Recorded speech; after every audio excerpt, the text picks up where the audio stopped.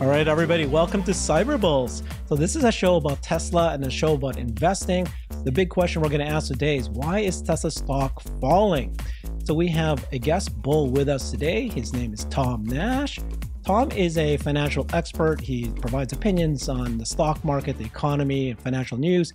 He previously worked at a major fund and 10 years at Deloitte. Very, very popular YouTube channel called Tom Nash TV. So, Tom, I've got to ask you the question you know, you did a video recently, something like Tesla sucks, but only for people who don't know the business. So, first question we want to ask you is why is the Tesla stock crashing, Tom? Well, when in doubt, zoom out is the first thing I'm going to say here. And it's probably the most important rule in what I say is the right way to invest, which is long term investing. If you take a look at the stock price and you zoom out, so year to date, we're up almost 100% on the stock. So we started the year with about 100. We're all, you know, at 200 and change. So if you stayed in the stock at the very least for almost a year, you've doubled your money. Now, if you've been speculating the stock and if you've been buying and selling and trading and trying to time the market, the market punished you. This isn't news. Warren Buffett coined this phrase among many and among many that were attributed to him that he didn't say, but this one he did say, is that the market is a transfer mechanism from the impatient to the patient. The thing is, the longer you've invested in Tesla, the longer you've been a shareholder, the more money you've made. And the difference are the differences are insane. If you've been kind of the Dave Lee investor, it changed your life. Even if you've invested for the past few years, it's a life-changing money invested in the past year, it's still a good return. I mean, you've, you've doubled your money. So the stock is going to be volatile. It has a high rate of retail participation. So it's going to have volatility in it. That's going to remain the case until the institutional investors are going to get in. We can ask Gary Black when this is going to happen, and he will give you the same answer is when they're going to do the buybacks and when they have a key man plan in place and the same old Gary Black spiel. But the fact of the matter is, the stock is going to be volatile in the short term as long as we have a high retail participation. But the good news are is that despite Tesla being the queen of the retail, it has managed to climb all the way up to the top of the of the rankings. No retail driven stock has ever done what Tesla did so far. In fact, I would just finish with this. The retail community of Tesla has proven to the world that simple everyday retail investors do better research than institutional investors because Tesla proves that. And the people who had the faith in the stock, who were dollar cost averaging when it was $100, $150, $170, are sitting pretty right now saying, well, we're double our money.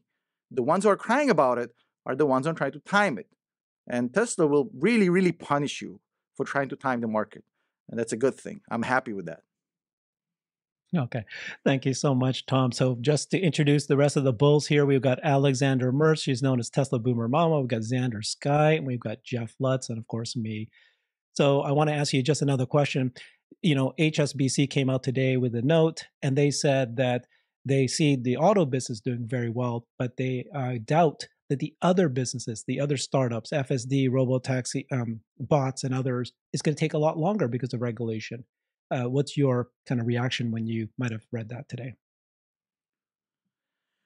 I'm going to be very gentle and politically correct because it's not my show. So I'm going to be very, very gentle. So I think uh, the sell side analysts have proven to be uh, somewhat inaccurate as it comes with the, with Tesla at least and similar shares and uh, similar companies.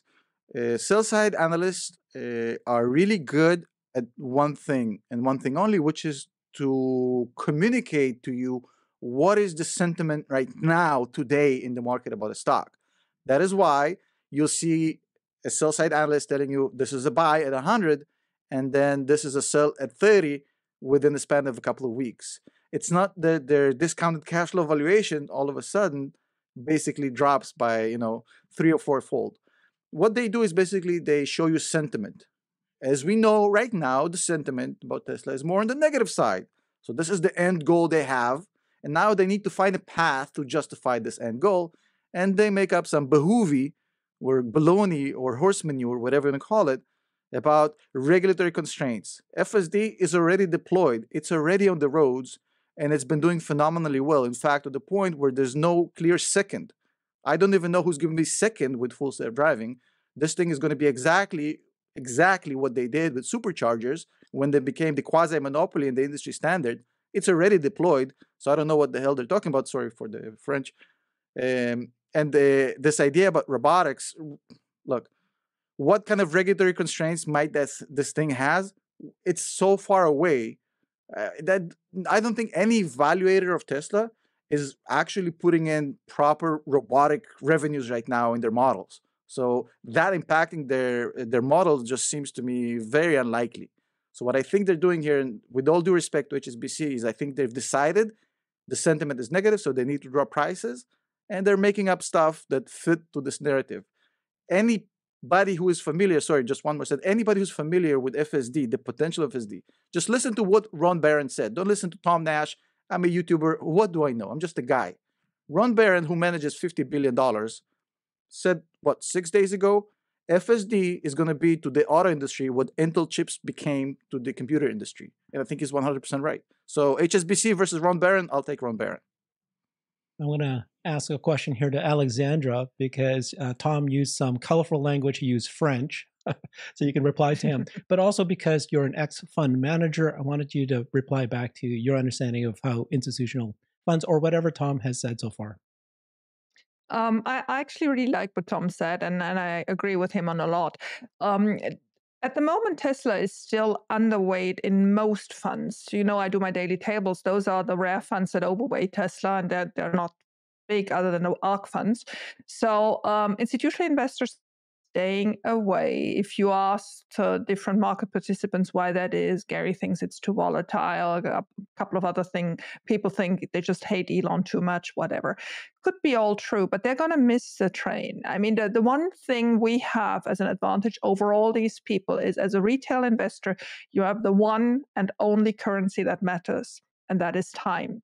If you have time to sit this out, if you have time that you don't need this money in three or six or 12 months and just can wait for it and can see the different scenario. And you're right, Tom, they, they don't even phantom yet, uh, including robotics into their plan. Yet we know Tesla is already recruiting a night shift for for the bots to assemble the bots, to test the bots. And when you read those uh, job offerings, it is actually so that they will be efficient on the factory floors. So, yes, it may not be something they sell straight away, but it will be something that will actually help them with their cost cuttings because they will replace workers and they will be at a, at a, a completely different uh, efficiency level. So, all this um, to say that, you know, if you don't believe in the Tesla waves, how I call them. You know, the first wave being the cars that is coming now to a point where margins are getting a little bit um, tighter until the second wave, which is FSD and Robotaxi, hits in. The third wave being the bots, and so much more to come. All the services, uh, the, the, software as a service, and, and all these other services linked to it.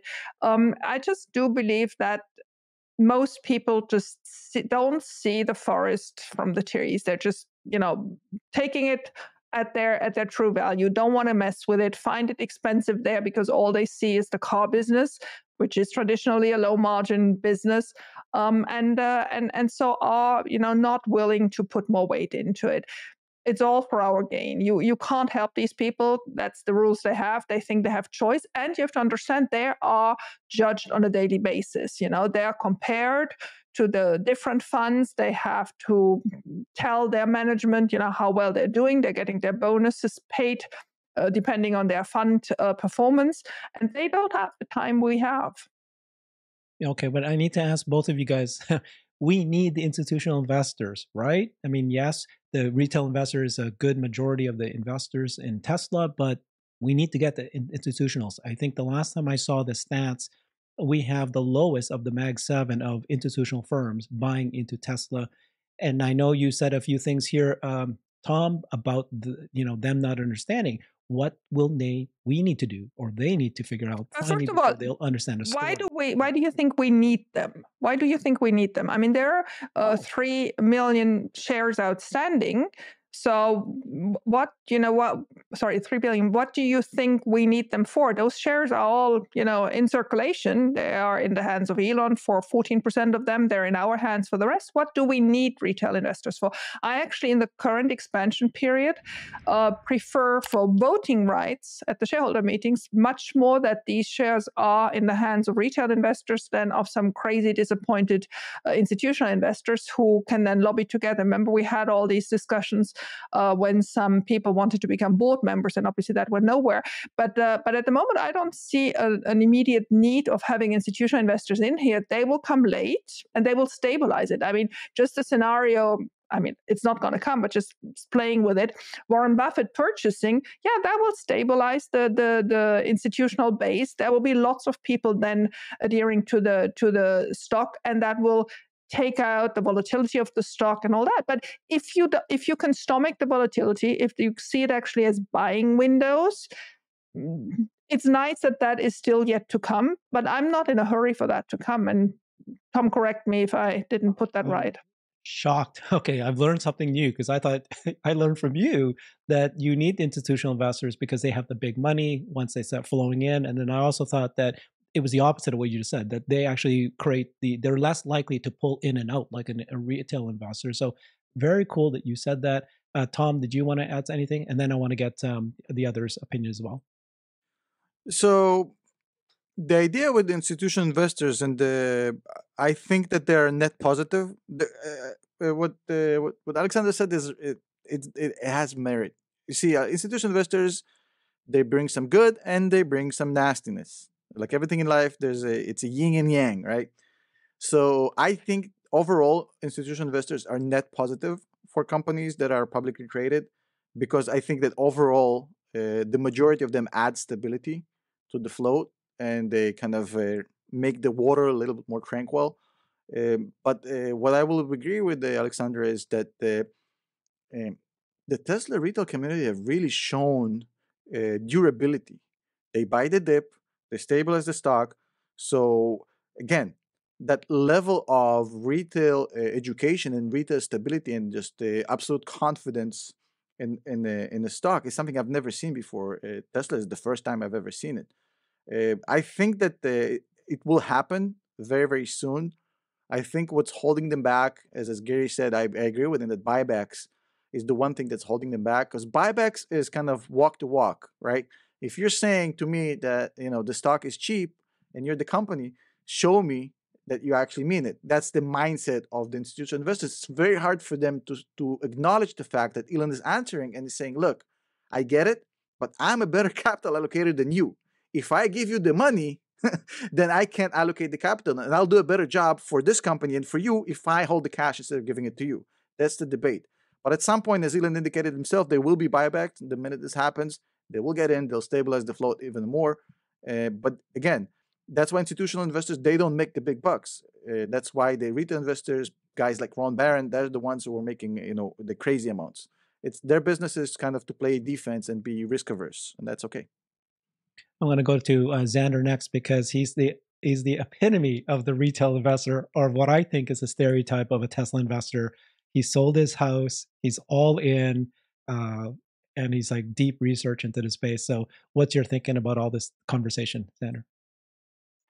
Um, the institutions, according to uh, Webull shareholders as of uh, October 31st, is actually 45.59%, and insiders is 14.45%, and others is 39.96. So that's us. Um, I I do like the you know what Alexander was saying and Tom. Um, if if institutions you know finally can kind of set the bottom and um, and we see earnings going up i think that the time is coming that they will step in and and uh, you know ho- and hold it. So um, it's just kind of a you know as tom said you got to zoom out and and look at the big picture. Um, right now earnings aren't uh, you know a catalyst for us. So it's the other things that as the story uh, is believed, then we should start seeing some uh, positive, uh, you know, momentum. Okay. Let's get to Jeff. Um, what you're thinking? Why the stock is down, or any conversation we had so far?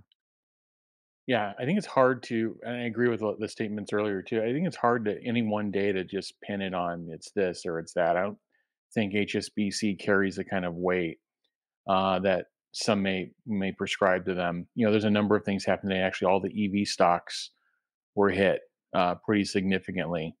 Um, so I never kind of prescribe it to one thing or another.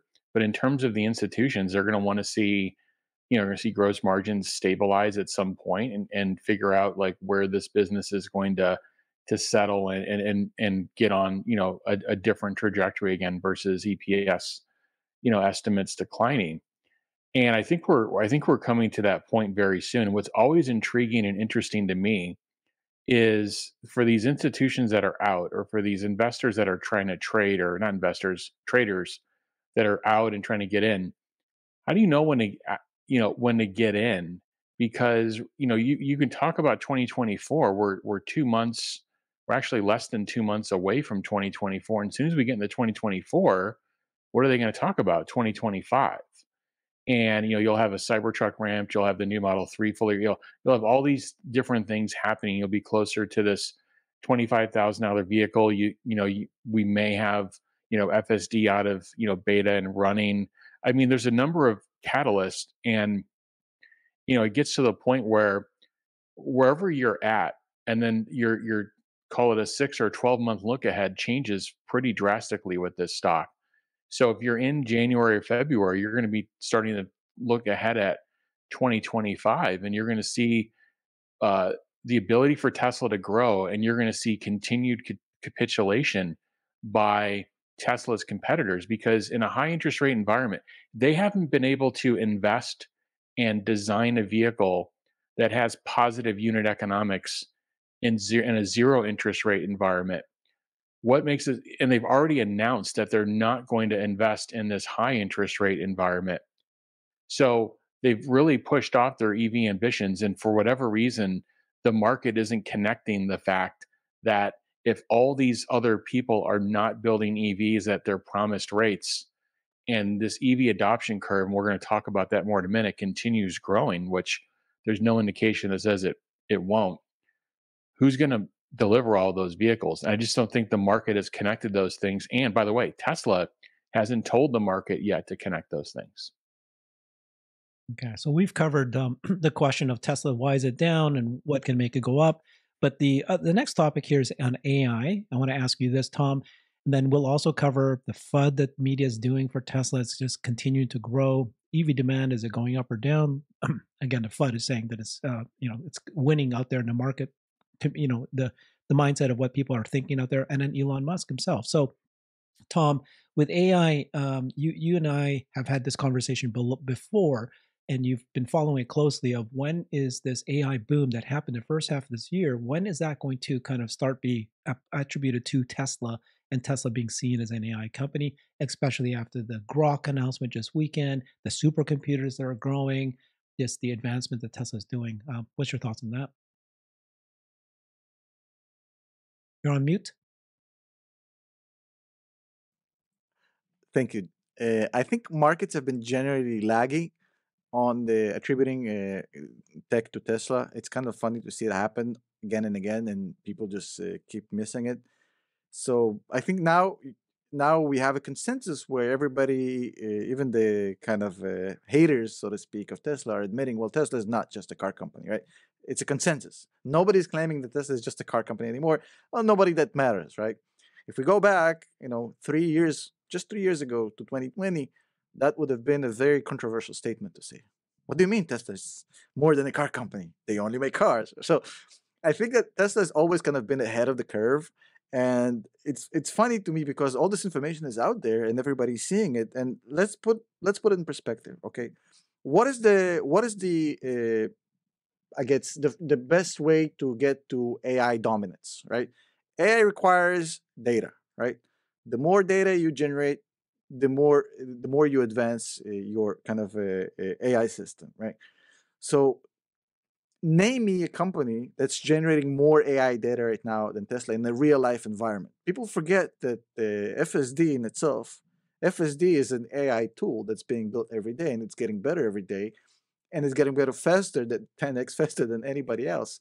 So, uh, in the context of Tesla, I have no doubt that they will be the number one, uh, you know, AGI company in the world. I think a lot of people understand this right now, but it will be lagged, and most traditional investors will be complaining about the high valuation, the high price to earnings ratio, the high price to sales ratio, and they will not do the proper research like guys like you, like Alexandra, like Jeff, like Xander, like everybody else are doing. Uh, that are looking at the technology and they're saying, guys, this is revolutionary. I mean, look at how many how many miles they're creating with the FSD. FSD is is a is an AI system. I mean, for goodness sake, this isn't this isn't driver assist. This is a thinking, adjusting, learning machine. So I, I think it's going to take time until that becomes a consensus. And by the time it becomes a consensus, the stock is going to be much more viable. You know my position on the stock. I've, I've said my piece on that. And I think people will miss the train again. It happened in the past. It will happen again because people have this. They've read one book in which uh, they've been told, well, you know, 30 PE is too high for a company, or mm-hmm. this is a, and they'll go by these numbers and they'll ignore the research, they ignore the data, they ignore the fact that the guy who's running the show is literally the epitome of Midas. Everything he touches becomes gold. You mentioned Grok. Let's talk about what what he did with X, formerly known as Twitter. Let's talk about what he did with Tesla, with SpaceX, with Neuralink, with Starlink. We can go on all day. I mean, uh, at some point, uh, you know, there's this. I, I don't want to take too much time, but if you take this uh, kind of spectrum, and you take the timeline from uh, you know zero to ten years, the longer you stay in the stock, the more it's going to uh, correlate with the technology. So Tesla always had this huge gap between the quality of technology and the price of the stock. And you know, at, some point, this gap is going to close. And Tesla already closed the first gap when everybody understood, well, there's energy, there's all this stuff. Now they're opening up a second gap. Right now, as we speak, 2023, a new gap is open with AI being misunderstood. That gap is going to close. It's going to make a lot of people rich, and a lot of people are going to be complaining and then saying, "Well, we couldn't have known that Tesla is going to, you know, 10x again." Love it, love it.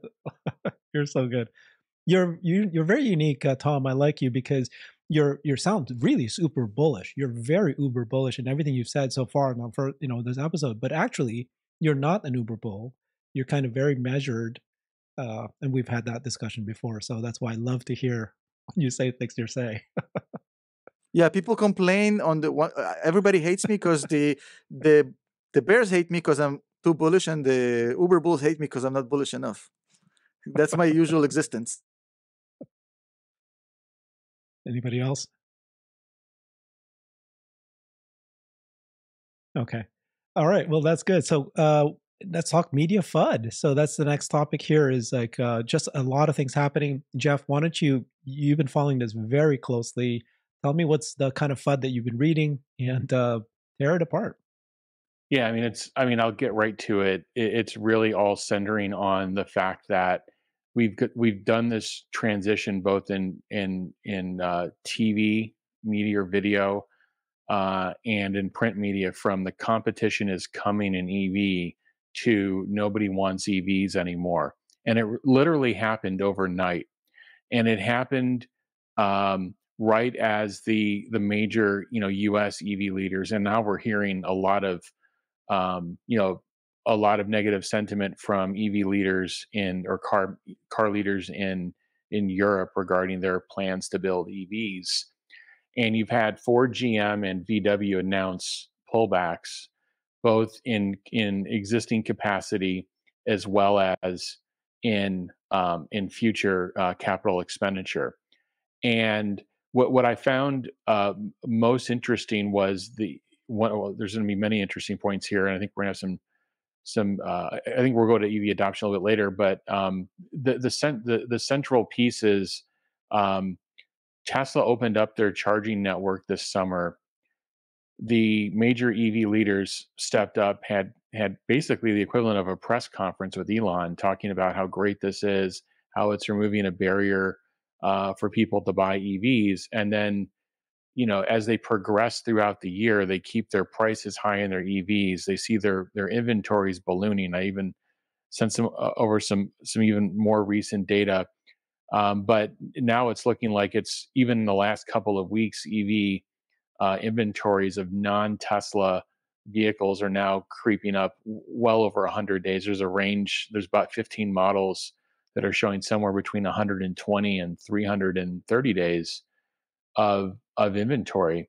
And you know, so it's it's just interesting overnight. We've we've gone from this transition of no, you know, the competition's coming, therefore Tesla's not going to, um, you know, have as you know, you know, not be able to sell as much to you know the competition's here but now nobody wants evs and now they're not investing and nobody's connecting the two and then the final thing is why this is fud is is there's never a chart there's never data that's put on the screen it's literally conversation whether it's your favorite cnbc personality it's like well we're hearing that people don't want these things but when you actually go to the charts and data and, and i think that maybe in a later section herbert um, when you, we actually go to the data the data doesn't support anything that what they're saying. The data says that these um, this competition basically built and shipped into inventory and could not move product out of inventory into consumers' hands.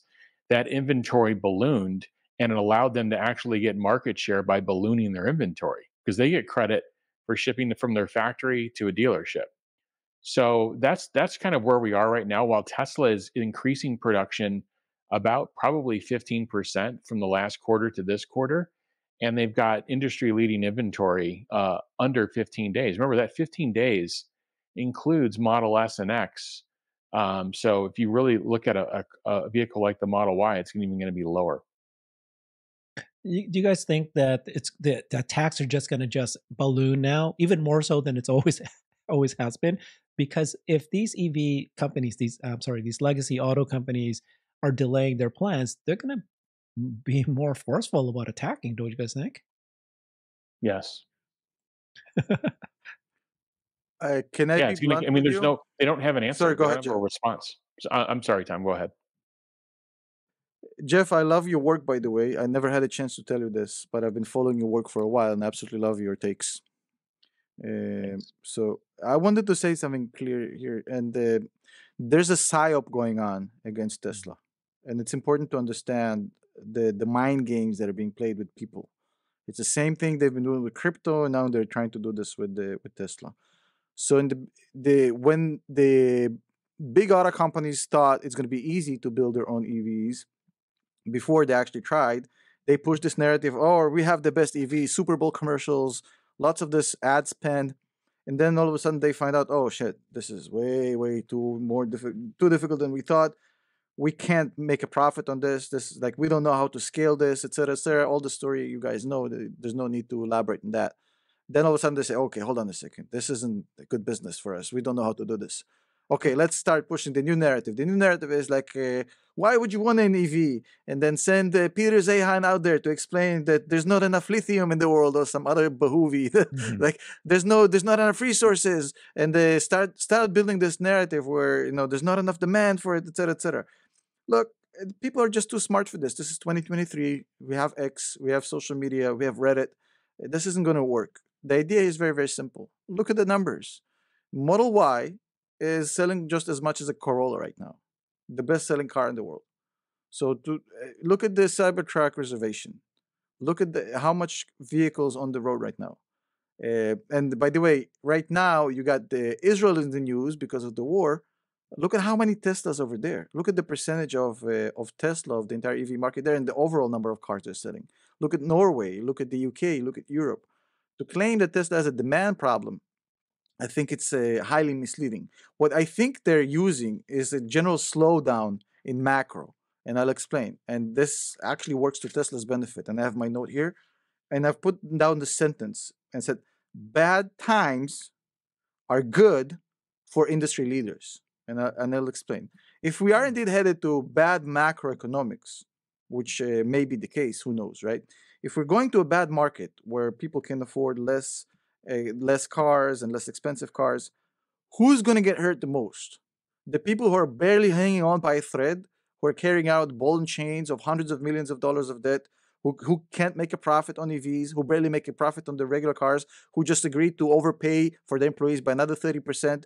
The, those people are going to survive or the company that has the best margins in the business the best employees in the business who are working. This is like the Rangers in the army. It's what like elite employees. Ron Baron just quoted what like 3,500 employees, over 3.5 million applications, a mountain of cash, virtually no debt, and eh, eh, zero ad spend. Who's going to survive the, the bad times? I, I want to use this example. I don't want to take up too much time here. If we're all eh, my one of my favorite movies is Forrest Gump, and Yeah. in Forrest Gump, there's a very famous scene, um, one of my favorites, where uh, Forrest sees uh, Lieutenant Dan and he jumps out of the boat and he swims to him, and then he forgets he's not, you know, steering the boat, and the boat rams into the into the um, you know into the uh, into the into the pier. But eventually, what happened is that there was a huge storm, and every single boat in Biola got destroyed except Jenny, which was uh, Forrest's boat.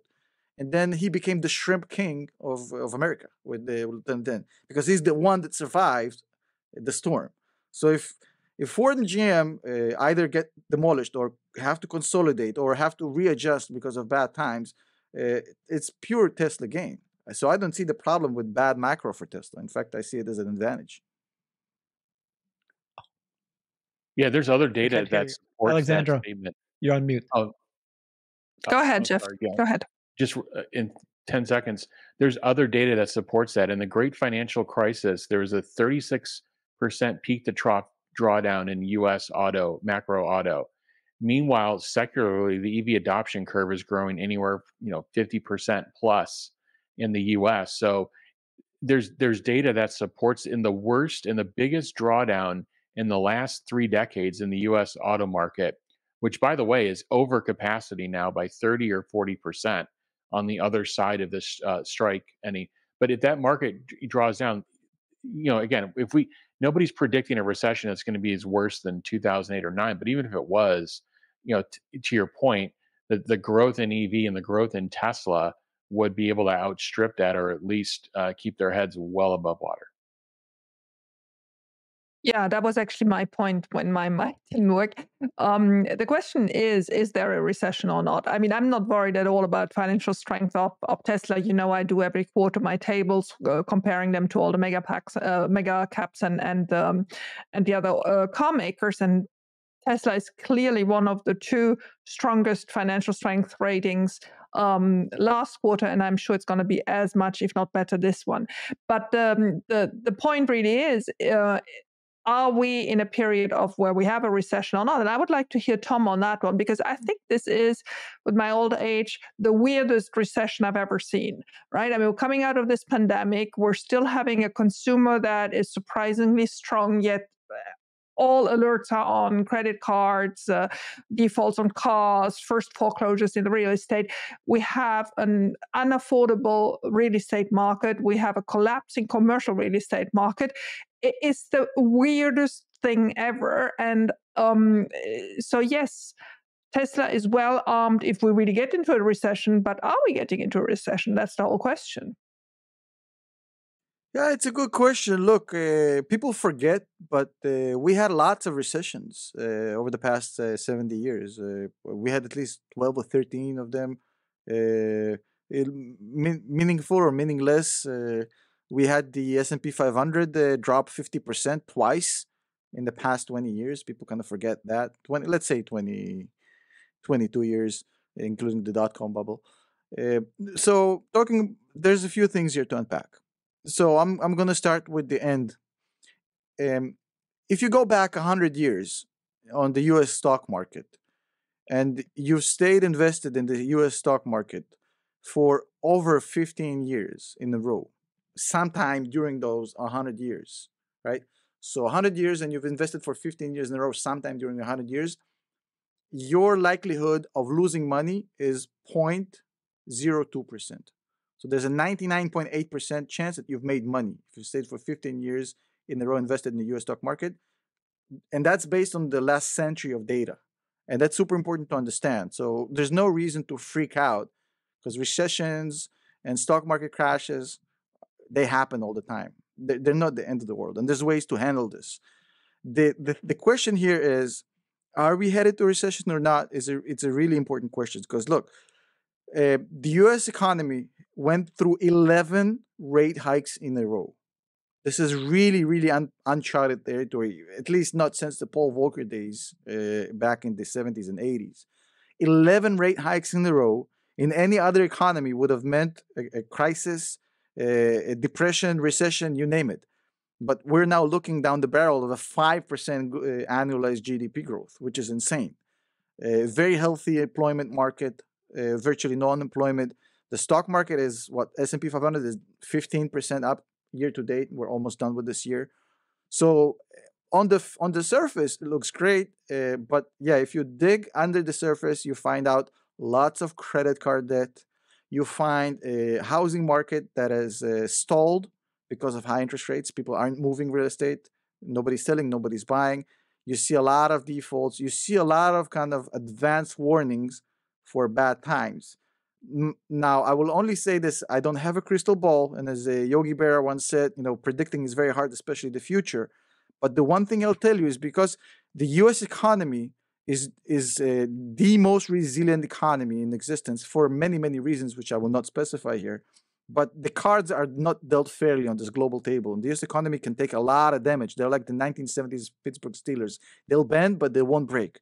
So if I had to bet, I think there's more likely than not chance that we're not heading to a serious uh, recession in the U.S. economy, despite the punishment that we've put the system through. Having said that, whatever happens, it's the same playing field for everybody else. And I'm going to say this point again. The one company that's going to survive this out of the entire auto industry, if you want to classify Tesla as an auto company, is Tesla. Who else going to survive? Probably Toyota going to survive. Probably VW going to survive. I don't know what happens to Ford and GM. They probably have to consolidate. So we win if the times are great. Tesla does really well and we win if the times do bad because Tesla will go down, but the others will go down more. Then Tesla will clean up the entire market once go back up. Very very simple. Tom. Okay. Oh, um, yeah. Let, let, me let me set you up, Xander. So I wanted you ask you a question, Xander, uh, because uh, you are somebody who follows the stock market closely. I wanted to have you tell us what you're seeing in the stock market and how they're uh, interpreting what whether or not the what's going to happen or not with the recession and so forth. Yeah, we, have had uh, you know quite an increase in the S and P uh, over the, like the last 10, 10 trading days. So um, it, it, seems like a healthy pullback is is necessary, um, and um, you, you, know. F- f- I, I, keep going back to Tesla and trying to, you know, find the floor. Um, you know, we, we had a gap here uh, from 206 to 212. So I, I called this out yesterday uh, with, with my options trader people, and um, and you know it was kind of surprising that they went for it uh, today. Uh, so so you know I, th- I, think Jeff made a good point that you you can't attribute it to one thing, but uh, as we know, the options market is uh, you know Tesla's the the greatest position. So they did that. Now there is a uh, a 240, uh, 230 uh, to 242 uh, gap left on the top side. So um, you know, I'm kind of hoping that we we go revisit that uh, with with some catalysts. Um, you know, may, maybe some macro data uh, next week. so, um, but overall, historically, end of the years, especially pre-election year, you do have uh, like a Santa rally that, that's supposed to happen. But uh, you know, t- Tesla's macro is is really uh, pulling it down. So um, you, you, know, with with what they guided, which was actually leads me to my question uh, to Tom. Uh, do you think Elon overreacted um, from what he said on the earnings call? What were your thoughts on that? Yeah, that's a great question, uh, Xander. Uh, I think, yeah, a, a, little bit. Look, I'm, I'm, I'm not one to criticize uh, a billionaire that succeeded in everything he's done ever and has made some incredible things. But I, I'll say I, I don't know if it's not a calculated thing. Sometimes uh, you'll take the short-term punishment to under-promise and over-deliver, and you know overextend a little bit on the warning and on the macro situation just as a precaution because if things go way better than you expected you kind of manage the risk right? So he might have been uh, downplaying uh, the his his ability to withstand this or overplaying the you know the macro severity of things. I'm not going to rule it out. I also am not going to rule out that he might have been in a bad mood. This is Elon we're talking about. You can't have the good with the bad here. So he's a very peculiar guy, and he has his quirks, and he might have just had a bad day. I mean, you like you take Elon with the with the good and the bad. You take him, you know, with the personality that he is, and you know, it might have just been a random kind of a little bit of a tantrum. That for me, when I see this thing happen, look, and I'm gonna divide it into two points here. Number one, when I see people overanalyze uh, his bad mood on the call and basically sell off a stock that has a beautiful setup for the next 15 years, to me, it's an opportunity to buy more. No problem. I'll buy more. I don't think Elon is having a bad day. It affects my uh, dollar cost average strategy or my or my uh, discounted cash flow valuation or any other metric that I have for the stock.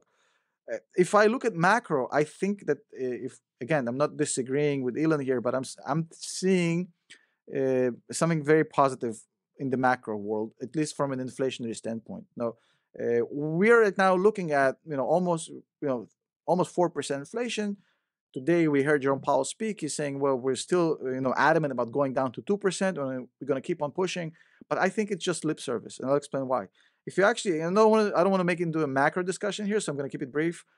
It, the CPI without gasoline and shelter is now at two percent. If you take away gasoline, shelter, CPI, we're already at two percent.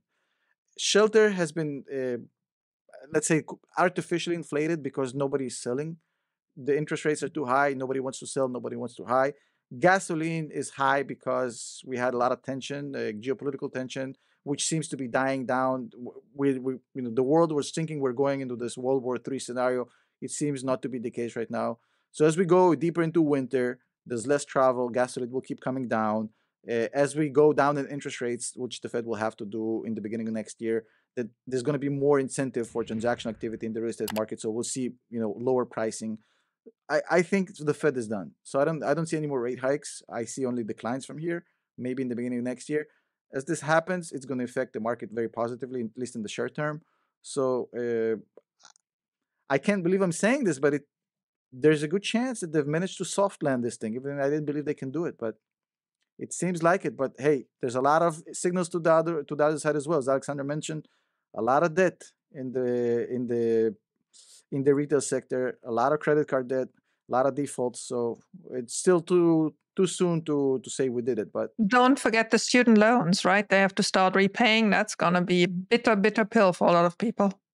Yeah, but that's one hundred percent true. But also, when uh, you start repaying the student loan, it's a dis disinflationary element because you have less disposable income. So they also will bring down spending, and uh, so. Mm there's a flip side to this as well, but I 100% agree. Uh, but again, do you see them doing it in an election year? Uh, well, I mean, it starts. It starts now. They can't. They, they can't uh, cancel it again, right? The problem. I mean, I can't believe that some of those student fund managers or whatever you call them, you know, the ones that are caching and whatever, are not ready. I mean, can you believe that? This was a break of three years. They apparently should have started and started and started over and over again. Now they should, should finally start. And now their IT is not ready. I mean, I have, I don't want to be the conspiracy theorist here. I don't know. In an election, let's see. I, until they mm, start mm. paying it, I don't know. I need to see it to believe it. Mm, yeah, it is. It is very. It's the Russian in me. I am always. it's already started, Tom. The, this yeah. the October November was already the first payments. Yeah, yeah. I know. But I mean, okay, not, so not all of them paying. yeah, well, that's a big thing. There are lots of them actually not paying, and one of what? the main cash machines, well, the ones that should got it, is is not ready IT wise. So uh, look, I I think that the the question the question I think really that needs to be asked here is not whether uh, you know the the market is going to go south or not. I think the real question should be is mm. uh, how Tesla will behave in this environment, and I think that's going back to my original point. Uh, the beauty of this is like almost like uh, when you buy, let's say the S and P 500 as a long term investor, you're kind of saying whatever happens, I'm going to make my eight percent a year, right?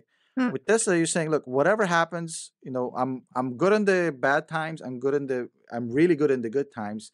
Uh, that's why I never understood people who allocate a capital to companies like Lucid. It's like it was always kind of this conundrum to me. It's like I was talking about this with other friends. It's like it's like why? It's like Mm. look at the risk profile, look at the upside. I can understand why people thinking about Rivian potentially, maybe I can make a case for Rivian, but uh, in in in a bad macro, you're talking about a company with the lowest cogs, with a mountain of cash, with no exposure to any sort of uh, credit issues, no debt, with the the best CEO in the business. So how can you bet against it? I've I've never Mm. understood this. It's probably the least sensitive company to um, to macro, uh, except perhaps Salesforce, Wh- What? which is what? like a pure B two B. Whoa! That's surprising you from just- you because yeah, exactly. Did you just say Interest rates? that Tesla Tesla is the least sensitive to macro? Yeah, with the exception of my favorite company, which I'm not here to talk about. So I'm going to leave it to Palantir? the side. Yeah, yeah. But Oh, it's not the point of this co- podcast.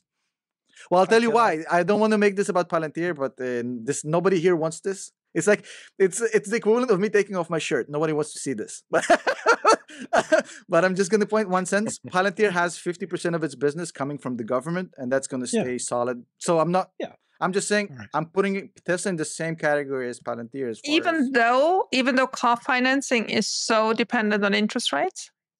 Well, look, here's the thing: the people who buy Teslas are not the people who buy the the the. the uh, it's socioeconomically the, the the typical client, the demographics of the clients who buy the Tesla cars are usually not ones to uh, get hammered. To finance? Oh, I think you're you're mistaken there. I think seventy to eighty percent of Teslas are financed. No, no, I, I agree with that point. I'm just saying I'm not talking about the whether they're buying cash or not. Nobody's really buying cash anymore.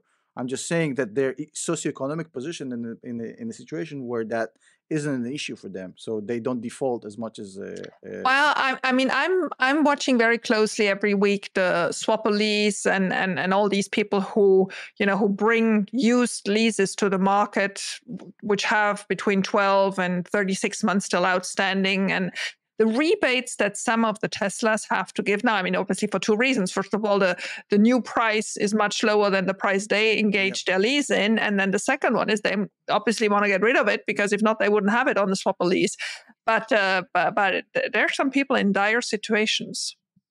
Yeah, but uh, the one thing I'll tell you is all my friends who uh, who bought Teslas, uh, uh, who never owned Teslas before, they've all said the same thing. Uh, we never thought about a, a car expenditure as a, as a as a saving. That's the the mental exercise that people are not used to making. Like if you buy a Tesla, your maintenance costs, your gasoline costs, all of these get offset of the initial purchase price. So a lot of people, when times go bad, they'll make the initial investment because the ongoing payments the, there's no uh, transmission there's no engine oil there's none of this crap that uh, is basically uh, it kind of maintains itself for for years so there's there's Yeah, and brand loyalty. Brand loyalty is enormous, no doubt about it. Yeah. so i'm saying it's also a saving when you buy a tesla yes sure the initial entry cost is high but your monthly payment on a tesla is so much lower than the normal car Correct. uh, yeah so that's part of it Okay. Whoa. Okay. Well, let's let's talk. The next topic here is EV demand. Right. We were talking about the FUD. We were talking about does macro impact uh, purchases. Jeff, tell us what's actually going on. Is EV demand EV demand falling or not? Just like this CNBC is telling me. What's going on. Yeah, this is again, this is the FUD transition we're going through of the competition's coming to nobody wants these things anymore. And if you remember two things from this conversation, one is when you're being told these things, they're not accompanying it with a chart in any kind of analytical set of data to support their statements. They're literally just putting rhetoric out there and they're not supporting it with data. And the second thing you should take away is the if you look at the if you pull the covers back on the inventory, uh, it's actually even much worse uh, than what they're describing. So why don't we, um, if we go to the first EV adoption chart uh, that we had, Herbert. Um, yeah, this is this co- comes out from a source called EV Volumes, and uh, they're on Twitter as well. And this is this is showing um, global EV adoption, and basically this curve is continuing to go up and to the right.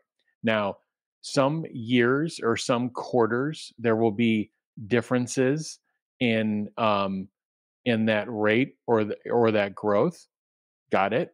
But in general, this this uh, chart is going up and to the right, and we're we're already at 12% basically globally and this and this continues to grow, being led really by uh, by growth in China.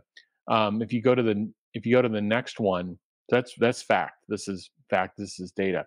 So now, if you start looking at um, Tesla and you start looking at their share, I'm not I'm I'm not a fan of looking at EV share inside of EV share because the whole thing, as we showed you, is growing pretty significantly. But there's a, a pretty you know solid explanation of what's happening here, and it's gonna and we're gonna see it in the when we get to the next chart.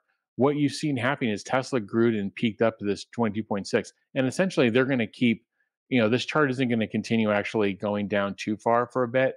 It's going to stabilize. And what's happened over the last two quarters is there's been more models introduced by the competition. And what they do is th- those models leave their factory and they go to a dealership. And once they leave their factory and go to a dealership, it counts as sales for them. I want to be very clear it leaves their factory, it goes to a dealership, and it gets counted as market share. It gets counted as share. So when we started this year, legacy EV was at roughly somewhere between 40 to 60 days of inventory, basically on par with their ICE business. Tesla, as you know, runs anywhere between 13 to 16 days of inventory, much, much less inventory. They're turning that rapidly. And as, as Deutsche Bank introduced uh, when they interviewed Tesla management in September, Tesla even said that of that half of that inventory is in transit, and that's very important. That means what's available to sell is probably closer to the seven or eight day range. Keep that number in mind when we put up the next chart. Um, and in this chart, this is uh, pretty fresh data. Data I think it was posted by. Um, it comes from Copilot and Car Dealership Guy posted this on Twitter this is this is the who's who of what's shipping. Uh, and, and, if you look in, in, in North America and really globally, um, but this is really more of a North America uh, manufacturers and European manufacturers. And basically, this is this picture has gotten worse over the last several weeks. And this range of vehicles are anywhere between 119 and 327 days of inventory. So I think Cox Auto put legacy EV somewhere on the order of just over 100 days of inventory. So that would be at the the lowest end of that chart. This chart says that this this this number is actually getting worse. But here's the mm-hmm. final thing. Even if you put them on 100 days of inventory or 120 days of inventory, that means they've built what they needed for the next 4 months of sales.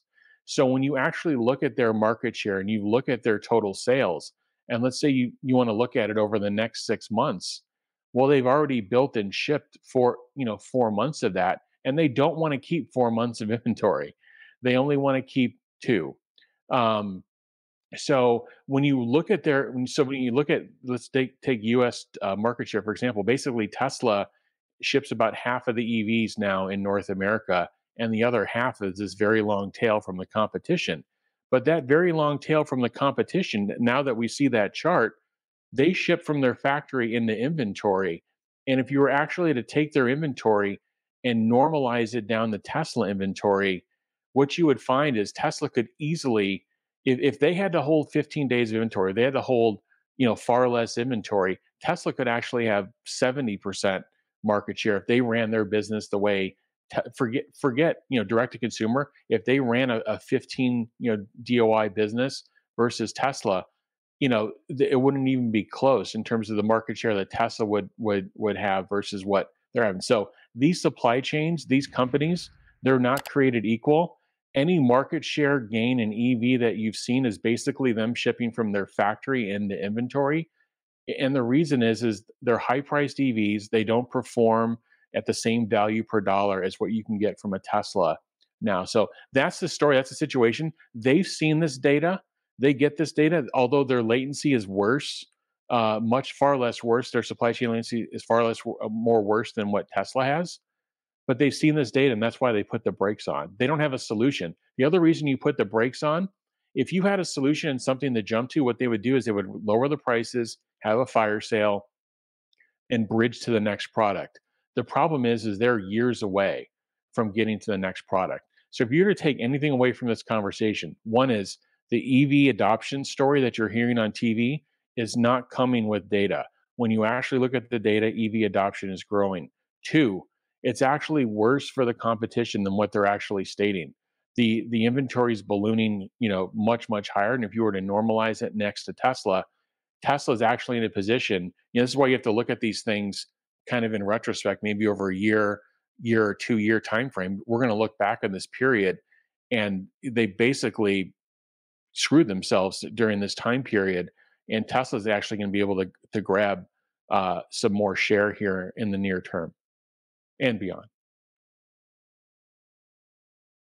So I want to piggyback off of Jeff's great take, and I love that take. And I want to complete it from the other entrance to the house, so to speak, from the back door. So I'm not an expert like any of you guys on Tesla. I'm a spectator, but I, I understand money and I understand markets. So for me, the fear would have been if we were talking about, you know, range anxiety, charging stations availability. If this was the fear, that was driving down demand, I would be worried because this is systemic risk that is unsolvable, right? If people need to be more convinced about EVs, about charging, etc., etc. Luckily for us, Tesla solved this problem by creating the supercharger network. So they've solved this. This was the brilliance of Elon, seeing the future before it was an issue because nobody was thinking about now it's like a gas station it's everywhere so there's no more anxiety and it's proven there's a, a recent uh, study uh, uh, sorry a survey I don't remember who did it. I think it was S&P Global Mobility. I'm not sure. But they did the survey and basically everybody said, no, no, no, no, it's just the price. And why mm-hmm. are they saying it's the price? And I'll explain. It's very important here. And I want you to be with me on this. In every new product that is introduced into the market, whether it's a brand new product or a feature, there's a pricing strategy that goes by waves. Imagine like an axis, an X and a Y, and then you go down. The, the initial layer of the early adopters, like you guys, they pay premium. They pay premium and they're willing to pay extra. And then you go down one layer, they're still willing to pay premium, but a little bit less, and a little bit less, and a little bit less. And then you have to lower prices as you go down the levels into mass adoption. It's just the normal development of any pricing strategy. Now, the crazy part about it is that Tesla and Elon Musk have cleaned house with all the first four levels. Nobody else was on time to clear the first four levels. So let's say that there's 10 levels of market adopters, of, of uh, customers of, of vehicles, right? The first four levels of early adopters, of people who are excited about EVs, Tesla cleaned house. They dominate. They took what, 70% of that market. Nobody else has anything left. Now, the market is in, in stage five. Stage five starts with normal people who don't care about Tesla, they don't care about EVs that much. They like they would like to have an EV, but they would not. They're not willing to pay an extra for an EV. You know, they're looking at this. Well, this Tesla Model Three costs this, and this, uh, you know, the the Ford the, this costs that. These guys, it's all about price. Now the price starts to play a factor. It needs to be competitive with pricing. But here's the crux of it, which is, like the pe- people need to understand the insanity of what I'm about to say right now. Tesla dropping prices to meet this stage is an offensive move. It is not a defensive move, which is what mm-hmm. people don't understand. It's not a defensive move because what Tesla is doing here is it's dropping prices to meet the new layer of level five, level six, level seven, and it's dropping prices. But they're the only car manufacturer in existence who can afford to do that. None of the other guys can affordably lower prices. They cannot compete at the level that they are right now. They definitely cannot lower prices. Tesla can start lowering prices and still make a, a lot of sorry a lot of money on every vehicle sold. So they're slowly killing the rest of the auto industry by a thousand cuts, and nobody's paying attention. And the only defense that these guys have is wage a PR psyops war against the demand to get people to somehow buy these clunkers that nobody wants anymore. And I think I want to add something, Tom. I want to add something. I think they have a second. I think they have a second strategy, and people have heard me say that before, which is diverting to hybrids. The government has included hybrids. Obviously, they did the lobbying job, so so that's there. There is still not enough understanding by the general public how hybrids are not the solution they think it is. Um, obviously, Tesla is not making an effort to educate at the moment. Let's hope that changes. Um, but they hope to win time by selling the hybrid models on which at least they don't lose money, on which they can use most of their construction experience, um, and on which they depend less on charging networks and everything else. So, so I think that's their way of trying to bridge the dire times they have. Not saying it's working, but uh, they do have a band aid. I, I don't want to call it a band aid, but just wanted to throw this in. Yeah, I want to add this thing. I just interviewed Nicholas Colas, right? He's got 30 years of experience with auto industry. He was a Wall Street uh, analyst and investor who actually helped with uh, Chrysler get funding to stave off bankruptcy, and he helped Chrysler to do the merger. He, he's made a very, very good point about this. He said that it's very unusual that Tesla took the strategy that they did. It's it's never successful when a new technology comes in to try to dislodge uh, incumbent technology to come in at the high end, come in premium. Almost always, you have to come in with a low cost, mass produced vehicle. And that's what the Japanese did when they came in to conquer the US market. That's what the Koreans did then with Hyundai. They come in with a low cost and eventually start building up the premium. And it's only like something like an Apple that really started at the high end. So for Tesla to have followed this strategy to get a foothold now that they're doing low cost offerings, that is the strategy to win mass market. So it's like, uh, you know, the, it's just a question of why do do people think that they should be like Apple and stay at the premium, or should you try to just completely get? You know, the goal is to get electric vehicles to as many people as possible, not to get the highest margin per se. Um, what do you guys think about all the things we just talked about? I don't want to hog the mic. I just in existence. Yeah, no, there has never been a company except Apple that have been able to sell value and not sell price. That's the only time I've seen it happen.